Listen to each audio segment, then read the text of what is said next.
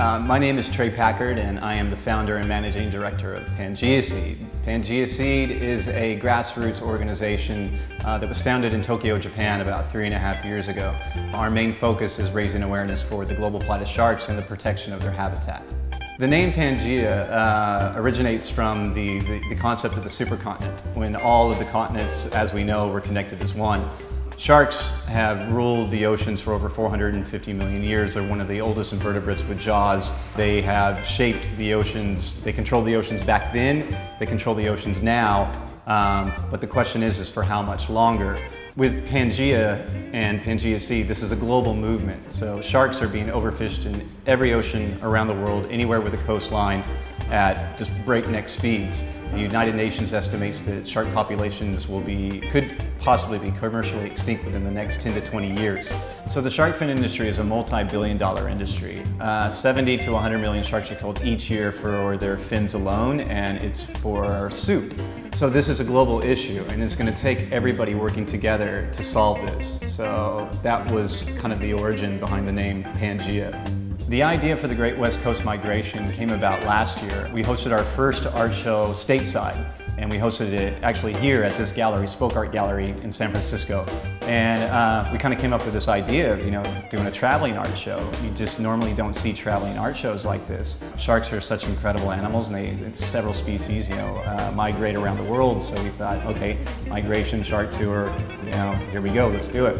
This has been like over about almost a year in the making. There's over 125 artists from around the world, again, because it is a global issue. We want to show that, you know, it's going to take, you know, a global movement to, to really, you know, protect these animals and get people, you know, aware and interested in the issue. One of the first artists I reached out to was Dave Kinsey. He's been, I don't know, a hero of mine for years now. I think he's an incredible artist. His artwork inspires me. Yeah, it, it, it's, it's extremely creative. Um, and I just took a chance, you know, I mean, like we, we, we, have, we were nothing at that. And I just sent Dave a letter and, well, an email and um, he replied and he was completely supportive of what we were doing.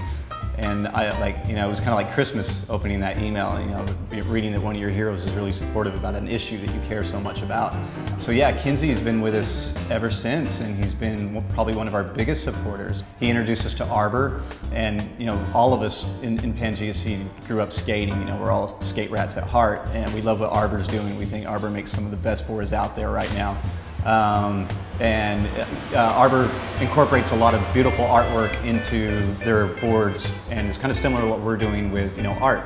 We're incorporating a lot of you know interesting artists to convey the message of shark conservation. So um, I think the the match between Pangea Seed, Kinsey, Arbor, some of the other artists, yeah, it, it, it works perfectly we just we couldn't be more pleased with the artist support that we had this year. And again, I mean, it's such an important issue. It's an issue that really resonates with a lot of people, and uh, using arts to convey the message is just you know a really unique way to, to, to, to raise awareness.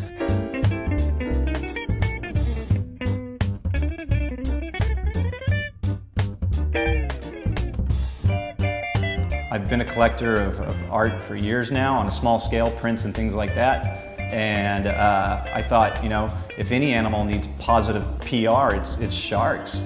So what better way to convey the message to the general public than through, you know, art, film, design, and photography.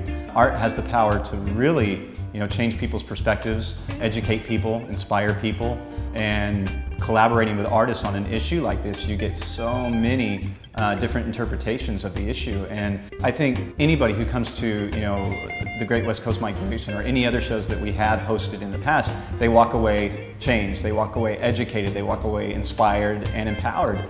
And for me, you know, that's, that's, that's, that's what I want to do. You know, I, I want to give people a new perspective on an animal that most people are afraid of, you know? I think it's really important that people know that you know if you love something don't be afraid to protect it you know do whatever you can to protect it um, and this is how I'm trying to protect sharks.